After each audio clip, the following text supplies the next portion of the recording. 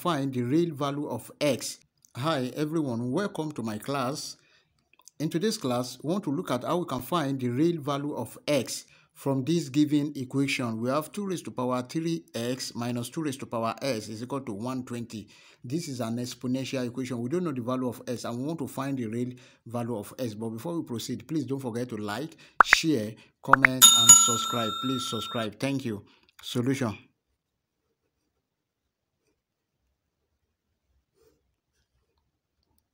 Then we have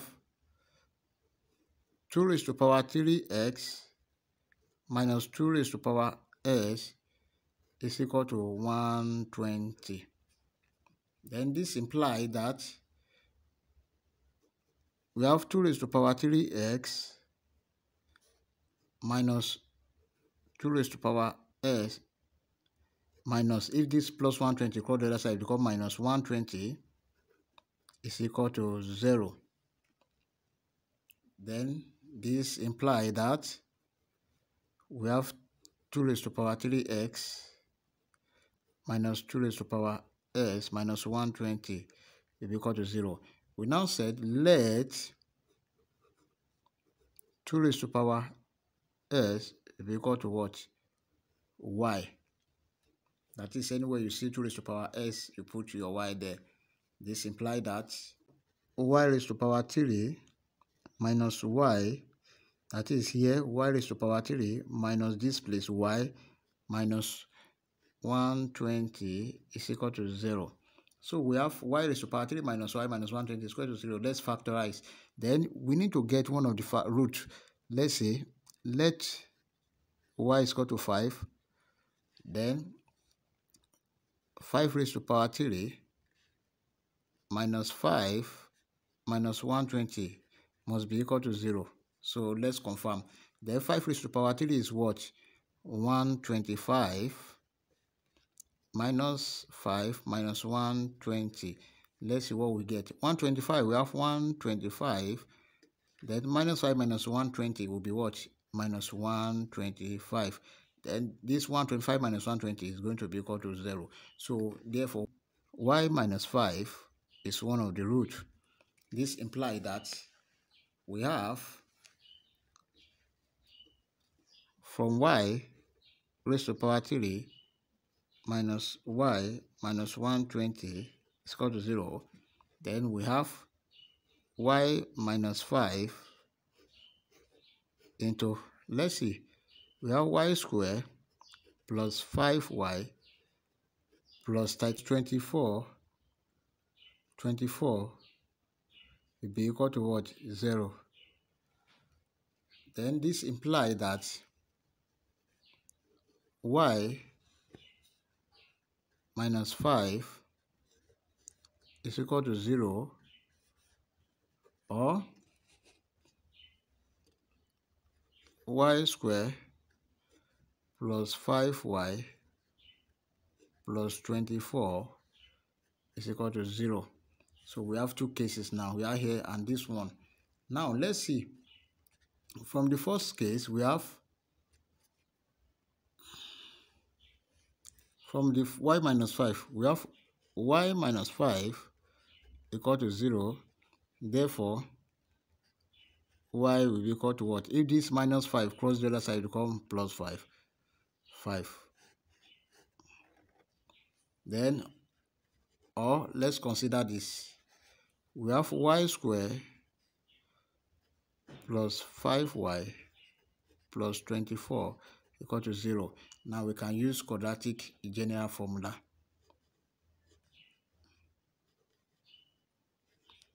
By using, by using quadratic,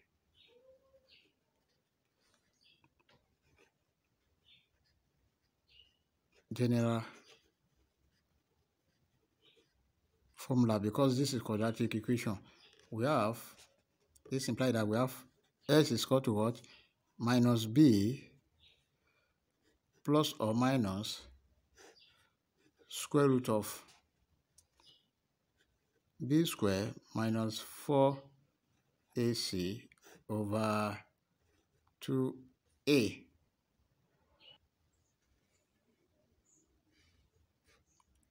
this implies that we have our A is equal to what? 1.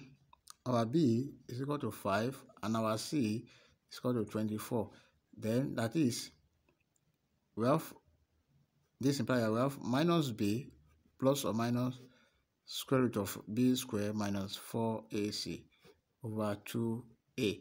Then let's, this is equal to, we have our B square minus 4AC to confirm. This implies that our B is what? 5 square minus what? 4 multiplied by A is 1 times our C is 24. 5 square is 25 times 24. This is 96. Then, which is going to be negative, less than 0. That is, this is less than 0. Then from here, we can see that there is no, no re root of the equation. So this implies that let's consider the first case, our first case, which is what? y is equal to what? 5. Let's consider this, our first case. Then we have y is equal to 5. But we know that, we say that 2 raised to power s is equal to what? y. This implies that 2 raised to the power s is equal to what? 5 because our y is 5 here. Then by the law of logarithm or using the logarithm, then we have log 2 raised to power s is equal to what? Log 5. Then this can be rewrite as we have x log 2 is equal to what? Log 5. Now what do we do? Let's divide both sides by log 2. Let's divide both sides by log 2. We have x log 2 over log 2 is equal to log 5 over log 2. Then this will cancel the, our s is equal to what? Log 5 over log 2.